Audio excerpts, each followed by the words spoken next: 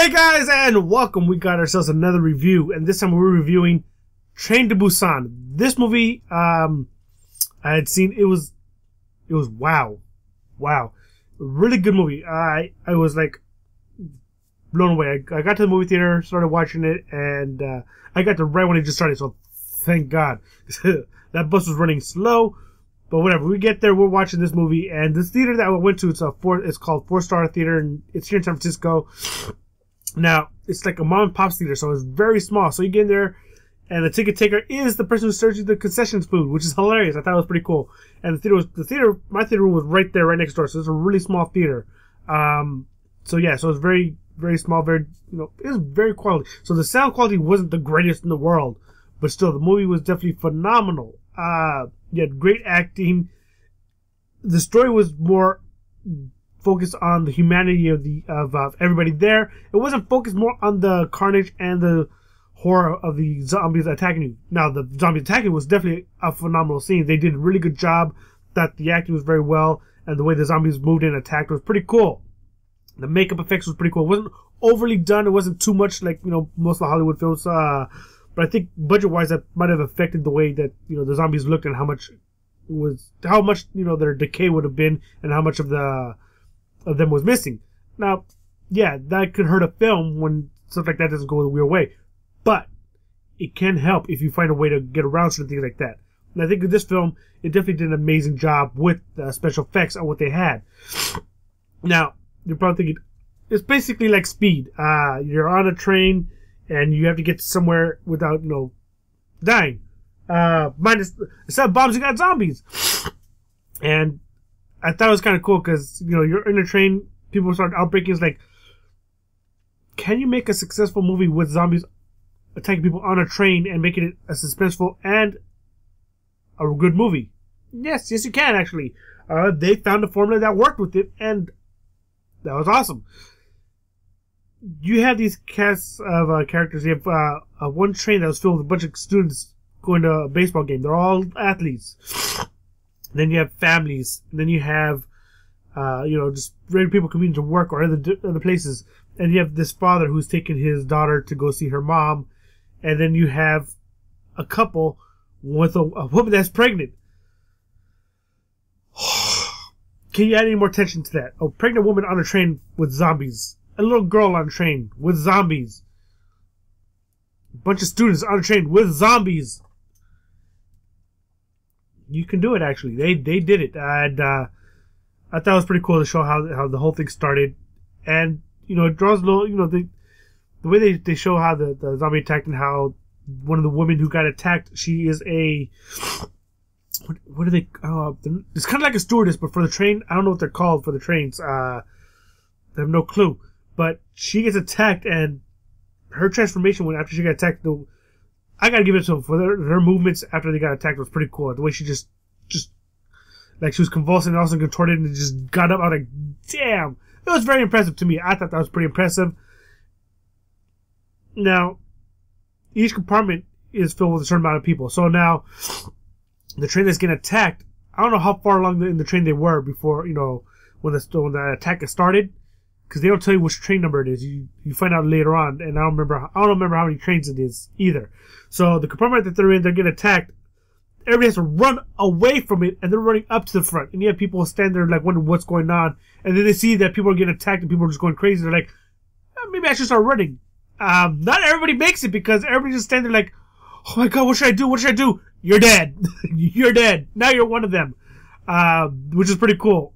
Uh, and whoever was the back part of the, the train, the trains were. After that, they didn't show. I didn't see. Well, I could tell which way they the zombies broke off. If they broke off this way, or that way, or if they did both.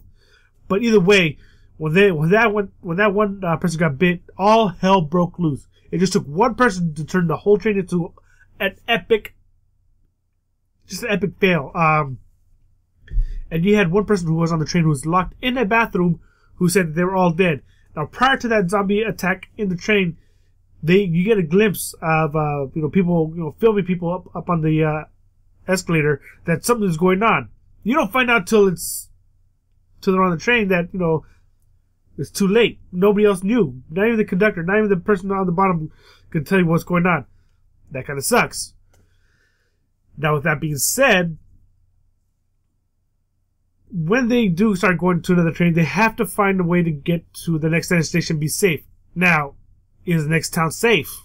Well, they find out, hey, you're safe. It's quarantine. Get there. Well, it's not quarantine. Get there. You'll be you'll be taken care of. There's an army there. What they didn't know was that they were going to take people off the train and put them into quarantine. But when they get off, you can assume, yes, all hell's going to break loose. Now, as far as the action and the all that goes, definitely amazing, definitely phenomenal. Uh, a lot of people definitely got really emotional when they, when they, with this movie. My mom was one of them. My mom was one of them. She started. She was like, she's like, I just can't. I can't take. I just can't. Uh, even she was crying. I know a lot of people cried. There was a couple people that commented said they cried watching the movie, um, or they just couldn't take it. And yeah, it was very emotional movie. And yeah, it is. It hits you in the feels, man. I swear to God, it does. It's definitely a movie that does more than uh, just give you just blood and gore and guts. Walking Dead is definitely a phenomenal show. This definitely takes more uh, focuses more on the humanity than anything else. And from what I hear, let me check and see if it's true um, that there's gonna be a sequel. If it's true, that'd be awesome. Let's see. Mm. Yes, Train to Busan 2 possible in 2017. Movie prequel. Oh no, not a prequel, please. Please not a prequel. Um Okay, huh, let's see. Two hours ago, the plot was revealed. Sorry. Alright, Train to Busan plot 2 revealed.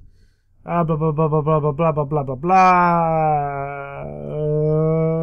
Uh, that released that a sequel has a plot is sooner than expected, and it doesn't tell me what it is.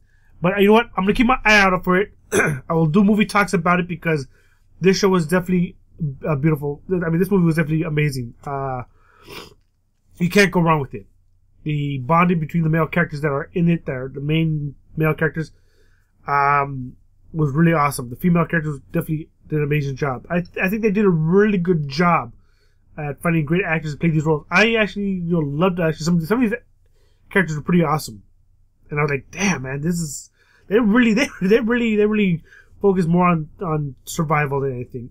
If you have not checked it out, check your local theaters uh, look online, see if it's still playing anywhere near you. If you can find it. If not, you're gonna have to wait.